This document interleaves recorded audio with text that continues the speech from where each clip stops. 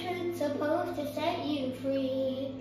Well, why do I feel so weighed down by it? If I could show them everything I've seen, open their eyes to all the lies that